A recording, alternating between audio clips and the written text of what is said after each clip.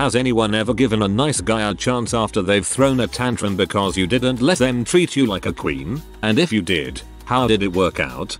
I was the nice guy who got turned down for a second date. I said the same bulls that any nice guy says when that happens, i.e., all women are the same, say they want nice guys, only date buttholes, etc. She said well, fine, let's have that second date but doesn't it make you feel weird to have to convince someone to date you? Don't you want someone who wants to be with you? Me. Changed absolutely everything about dating for me. I finally allowed him to take me on a date to breakfast. Figured midday would be ideal to meet up in public. I offended him immediately when I spoke to the waitress. I said, we have two when she asked how many we had. He insisted that she was asking him, not me, and I emasculated him in public. I laughed it off as a joke. I grew up with all brothers. Surely, he was trying to be funny. We sat down. The waitress asked for our order. I gave her mine. He groaned and asked her to come back in a second. He told me proper protocol was for me to discuss what I wanted to eat with him. Allow him to make the decision. And he was supposed to relay that to the waitress, not me. I told him he was crazy and left. Blocked his number. Ghosted completely. Oh, finally my time to shine, I guess. In high school I briefly dated a nice guy, complete with an actual fedora in 2000 before they were really a thing. Thanks art school, I had been in a really horrible, abusive relationship with a guy in his 20s just before. And in fairness my nice guy then friend had been instrumental in helping me to realize how fricked up our vibe was and helping me to leave an objectively horrible situation. He then promptly swooped in and started pushing for romantic intimacy between us. He never actually declared feelings. He was never that straightforward about his own thoughts and desires. Just talked about the way I deserve to be treated, like a queen. Ovs. And made it clear he felt he was the only one who would give me that. Many of my friends were pushing for it as well. He was nice, after all. And my previous boyfriends had been so objectively awful, I felt a lot of obligation and kind of went along on autopilot. There was a lot of negotiation around anything sexual. I treat you so well. Don't you want to from him and I know you want to treat me like a lady so you'll be okay to take it slow from me. One of the hardest parts was that he clearly wasn't out to hurt me or to frick me. The sexual acts between us. We never slept together, but did other things that seemed like a huge deal to teenaged me, were only a demonstration. Proof that I loved him. That was what he wanted, but I didn't, and I really thought that meant there was something wrong with me. In the end, I only lasted about a month. He decorated my locker, brought flowers, and left notes for me taped to my desk in each of my classes to celebrate our freaking one month anniversary. I was mortified. My math teacher caught a good look at my face before I managed to plaster a smile back on as I opened the note he had left in her class. She asked me to stay back after for what turned out to be one of the most important talks in my life Mrs. Brown. Just the best. I felt panicked, telling her over and over how happy and lucky I was. She kept asking questions until I burst into tears and it all just came out. I don't really remember what all she said, but I remember her saying it's okay to be alone. She said it over and over, like Robin Williams going it's not your fault in Good Will Hunting. And soon enough I was. I broke up with him. Kindly but firmly. And about 5 different times before he accepted it. He cried. He got angry. Absurdly. Insanely. His mom called my mom. Who dropped the hammer on her in a way I haven't seen before or since. I took a ton of crap at school for breaking his heart and ruining his life but I felt so free that I didn't really mind. I dated around, but didn't have a boyfriend again until I was 21. It was truly okay and important and necessary to be alone. I'm super curious why his mom would call and also what your mom said. Seems like a very interesting conversation lol.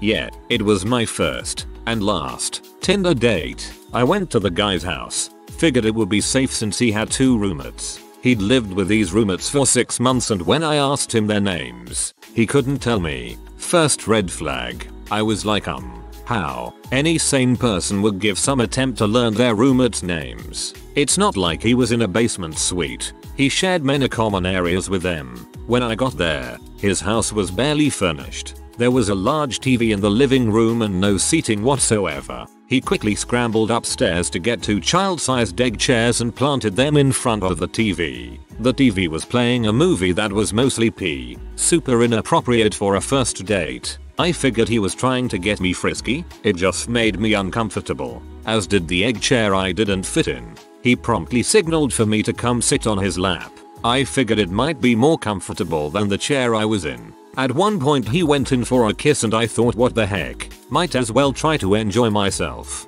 It was awful all I could feel were his teeth and his lizard tongue punching my uvula. I actually had to hold back gags. After that I waited about 15 minutes before signaling that I was going to leave, mostly to preserve his feelings. So after the date I messaged him saying I couldn't see a second date happening. I was as nice as humanly possible. He lost it. You're just a W. Didn't want you anyways. Now you are showing your true colors. And then switched to, I love you though. I was going to bring you to Greece. He flip-flopped between those two states and called me. No answer. Every 3 minutes until I blocked him on everything. I deleted Tinder. I read uvula as vulva and was wondering how bad he could have been it was making you gag. My wife did while she was in college. He had constant low self-esteem which annoyed her. He also loved making fun of other people. Sounds like he was just a toxic guy. When she broke up with him he wrote a suicide note naming her as the reason and showed up on campus with a gun. Fortunately nothing happened. He got some therapy and wasn't allowed back at the school. Funny how a lot of nice guys who complain about not getting a chance are just buttholes with no charisma. A girlfriend told me that when she was still new to dating, she gave a nice guy a shot they were in different states and after weeks of owing him a sexy picture or video she agreed to FaceTime him with a wink wink agreement that things might get steamy. The day comes and this 300 pounds unwashed dude called her 190 lb, 5 feet 6, nice, but bigger than he liked and suggested she start working out. He then pushed for an in-person visit near him so that he could show her the wonders of carnal things. She ghosted him shortly after that. This is true horror comedy. Does nice guy mean timidly chivalrous in public and wholeheartedly misogynistic in private? Bingo. I had a guy who would constantly ask me out or make really awkward advances for like a year and I finally hit a pretty low point after coming out of a relationship and agreed to go out on a date. But he seemed actually kind of nice and we ended up dating and lived together for a bit. It all turned sour though, when he realized that all his cute punk girl balls he had projected onto me wasn't who I am and I wasn't changing to what he wanted me to be. And then all of a sudden he was out with friends constantly and coming home drunk. The morning he came home, around 6am, telling me he kissed another woman finally woke me up and I left him. He would still send me messages for months after we broke up, not acknowledging my replies saying I have a boyfriend and it's inappropriate to say these things. Even now if I unblock him from social media I'll get a message within a few days saying things like, Hey, still beautiful I see or hey cutie sweetie etc etc and he gets blocked again. Ugh. This one is nuts. He apparently won the 10 nos and a yes is still a yes game. You went out with him after he was persistent, and you all seriously dated. He finds out that you're not the person he wants you to be, not that you need to be. Frick that. He then sabotages the relationship, and now he's still carrying the torch. Years later, like, dang dude. My sister did. She is a hairstylist and one of her clients was very aggressive about asking her out. He repeatedly bought flowers, concert tickets, and other gifts which he brought to her at work, and she said no each time because he seemed a little off. He got in a car accident and was really badly injured, and she felt sorry for him so she went out with him finally. They dated a few months before breaking up. I don't know the exact reason why, but after that he started stalking her. It's been over 5 years since then and he is still keeping tabs on her. She's reported him to the police multiple times, has a restraining order, and has blocked him on FB everywhere else, but every few months he finds a way to contact her. So if you get weird vibes from someone, don't give them a chance or you might end up with a lifelong stalker like my sister has. I didn't, but my friend did. See, me and this guy had a mutual friend. This guy saw himself as a white knight and would use that term to describe himself. He had a code of honor, and he was always somebody who'd walk the girl home, lend out his jacket, that sort of thing. Well, mutual friend was asked out by this guy, and he threw a fit when she turned him down. So, she gave him a chance. At first, she was happy. He pulled out chairs, lent her his jacket, brought her gifts, that kind of thing. But, it became apparent that he was incredibly possessive and things were always on his terms. So, they broke up. About 6 months after this guy was dumped, he decided he liked me. Telling him I wasn't interested didn't work the first or second time. So the third time I decided to just come out and tell him I was asexual. I hadn't done so before because I wasn't sure how he'd take it. He decided that I was lucky he was such a nice guy, because if he wasn't then he'd have taken that as a challenge. I haven't hung out with this guy since then. Just, no. The old most guys would just but I'm not going to cause I'm nice. The you're lucky I'm nice just sounds rappy and super condescending. Met a guy online and he seemed really nice. He was a tad pushy about meeting up but I ignored that little feeling. We met up shortly after for a quick date. I think we got coffee and chatted. It was instant chemistry. He had two sons and I have two kids, both open to blended families. Goal oriented, smart, easy conversation. We decided to go out again the next night. Really nice date and he was a complete gentleman. He mentioned on the date we'd have to get the kids together to see if they like each other. I laughed it off. Like yeah maybe down the road, we just met and continued the date. Two days later, during our texting I casually mentioned I was going to take my kids on a nature walk and I'd text him when I was back. He shows up with his kids. Now, I don't have it in me to be mean to children so I played nice and introduced myself. They were around 5 and 7, and very sweet boys, but inside I was creeped the frick out. After we parted ways I called him and told him that was not cool at all. Of course, he played victim and hurt until I said I was uncomfortable with what he did. Then it was I'm just trying to love you and your kids. How can we be together if they don't meet and you should appreciate a man trying with a woman with two kids. As if he didn't have to his dang self. He sent angry messages for about a week. I never would respond and he went away. To clarify, this all happened in a two week span. From start to finish. Like that second hand quote I saw in a comment if this were a train I would pull the emergency brakes cause it's going way too fucking fast.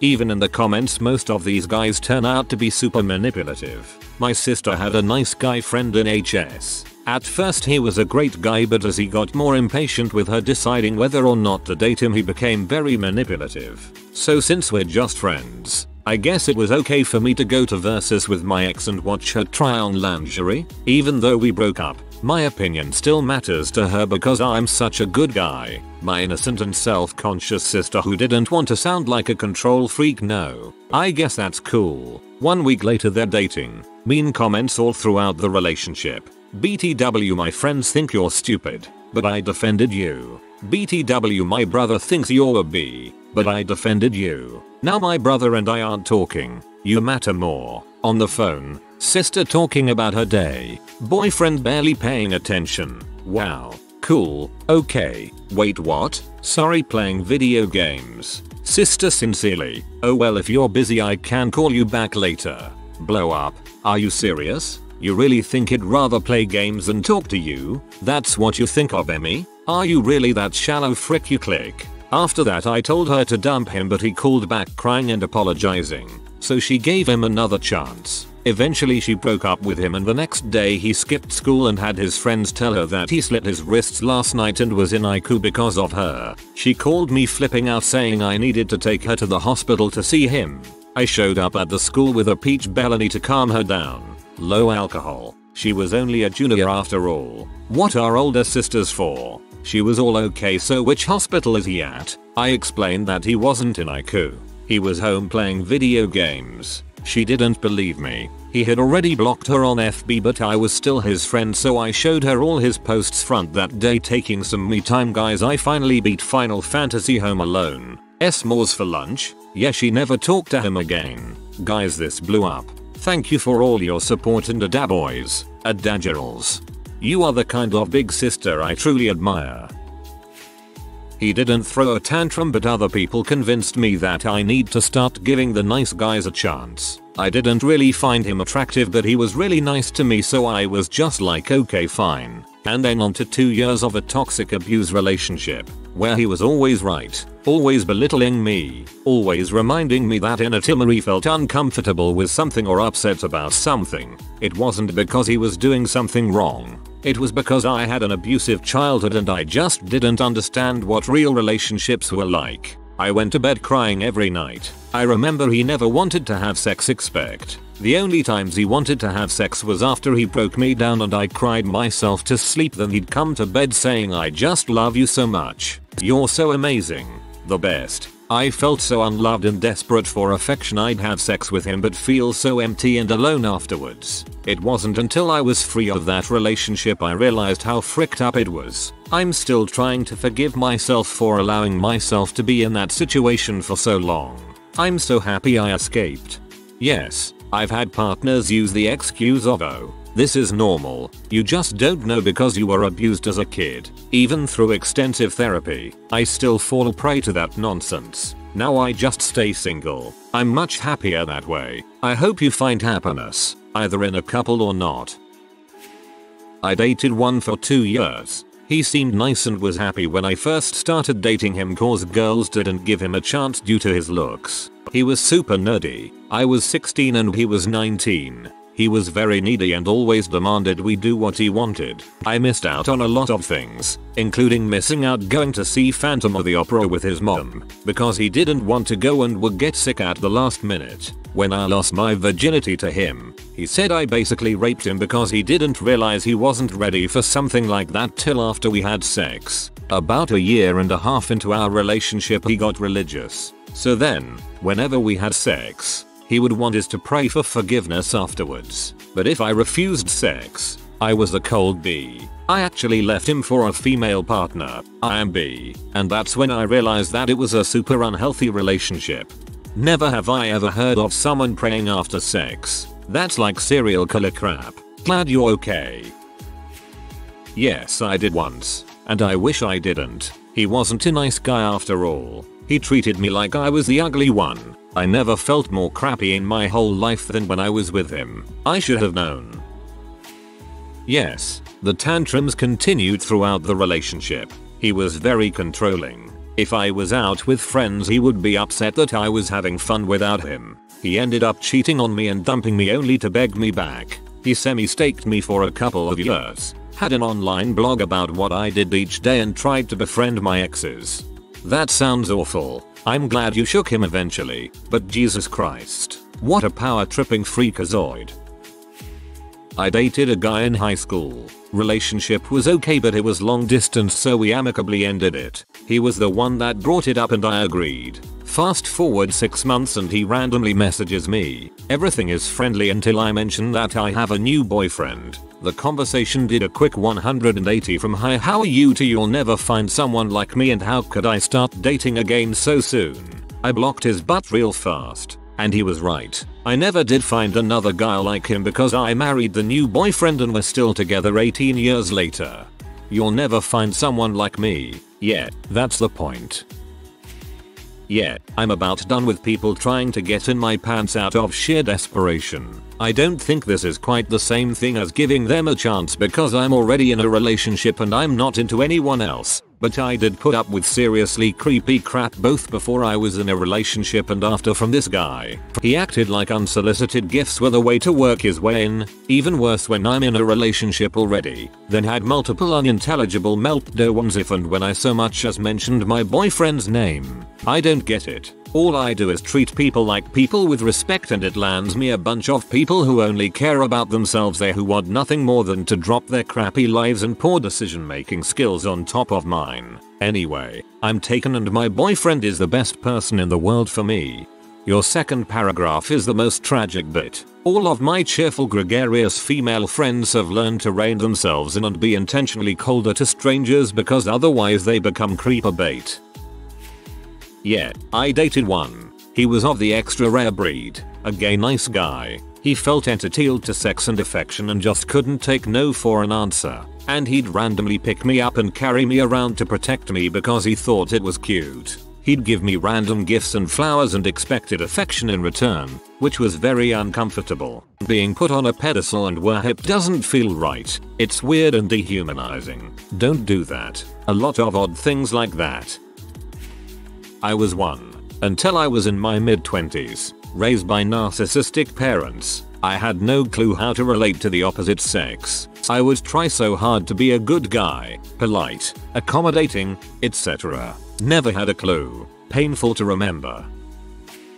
I'll clarify, I am married, I've been married for 20 years. I get a whole slew of messages on social media from time to time from random people wanting to talk to me. Normally I'm pretty cordial, I'm very upfront about being married, even then I don't mind the random chit chat. Once I'll let them know that I'm married, that's when I'm called a W or a S. I also get the same sentence you really missed out. I would have treated you like a queen so my question is, to anyone who know, if you have dated a guy who acted like this, how did it turn out?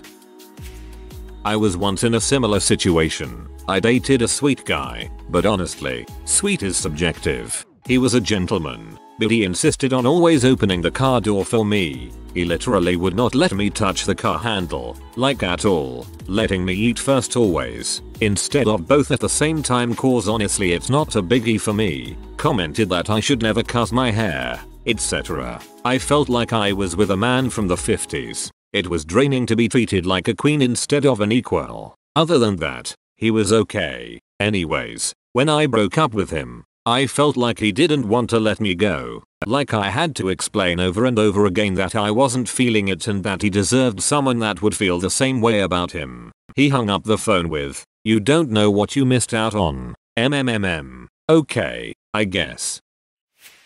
Way too many times in college. I had guys in the friend zone who I decided to give a chance because I was stupid and I felt sorry for them. My last straw was when a guy took me shopping. I said yes in lonely desperation on a Friday night. This was a Saturday afternoon. After every store I went into he would either criticize me for not wanting him to buy me anything, I'm not much of a shopper anyways, or ask me for sex because he bought me a used video game I wanted. Never again. There's a good reason incels are incels. Yes. Two months later he forced me into his car, sped insanely fast with metal music blaring to a very rural area, pulled into a field, raped me, then paced back and forth for a while. I'm guessing he was wondering if he should kill me or not. I told him what a great drive I had and suggested we get donuts. I wrote help and his nameplate number on a paper towel and stuck it on the mirror. I still have a hard time comprehending everything about that night. Just say no if someone feels off. You don't owe anyone something because they pitch a hissy. I just FB stalked. It appears he had sex with a girl from his work. The condom failed the first time they had sex. She married him, had two more kids back to back, then went to single and started posting a bunch of DV survivor posts. It also appears her mental age is much younger than her physical one. I was certain he was trying to get me pregnant. I thought I was being weird, but I guess my instinct was right. Poor girl. Freaking heck. 0 to 100 in holy crap fast. I don't get it. Being treated like a queen means that you get a plot of land and subjects, right? These guys seem to do the opposite. It was my first experience on OkCupid. The guy seemed okay on paper. We swapped on nude pictures so none of us would be surprised with the way we looked. We talked on Skype for two weeks because at the time I was in campus town and scrolling OkCupid for my hometown. I told him I would be back home after finals and that it would take 2-3 weeks before we could meet in person. It was good to talk to someone who wasn't outright trying to sexualize fetishize me. I don't remember the converse, but I thought it was good enough to meet him in person. Anyway, so we meet. I got dressed up and he was in t-shirt and cargo pants. I bought us both a latte. It was a coffee date. We sat down, and he talked mostly about himself and his job. At some point, he stood up, walked behind me, and started giving me a shoulder rub while I was seated. I never asked for a massage and why would I accept one in public? I got bored, so I pretexted a family supper to leave and he was like up, too bad. I could have had brought you home and I thought I thought I told him already it wasn't going to happen so soon. I decide to let him know on Skype that there wasn't any spark and that I wished him good luck on OkCupid. And he exploded at me. How all women are the same. We want nice gentle guy, but won't give them a chance. How sparks are made up by rom-com to trick women and in real life it doesn't happen instantly. But how I led him on because we talked 4 weeks and now I just decide not to push it further. How he is done with women. And so on. Then he blocked me. Comma how all women are the same. We want nice gentle guy, but won't give them a chance. I love how in his creepy mind, literally going on a date somehow isn't being given a chance.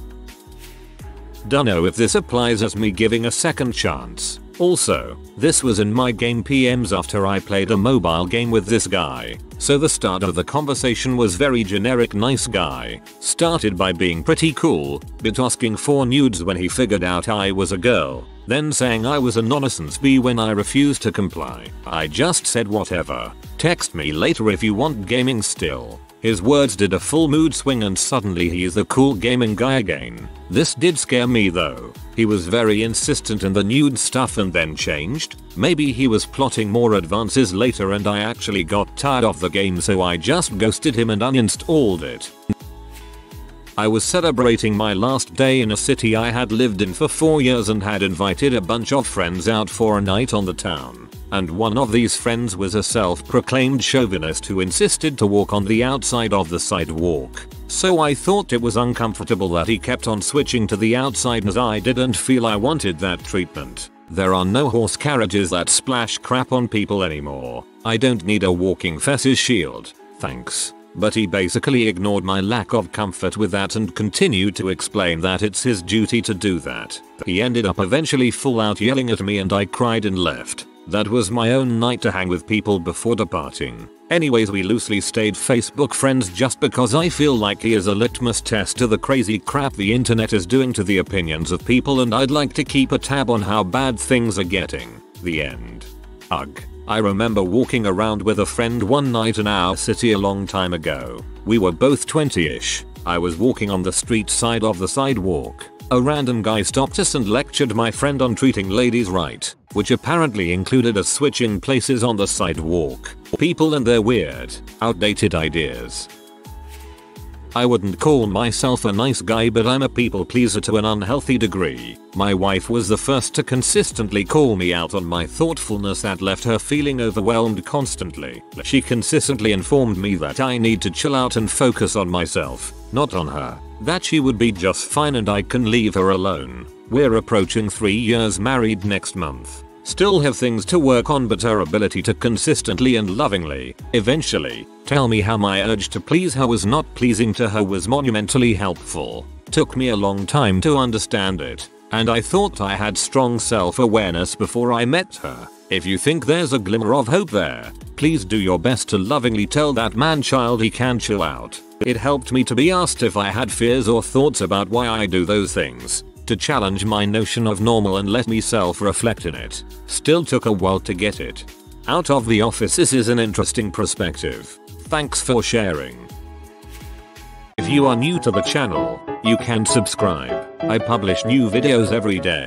Until then, check another video.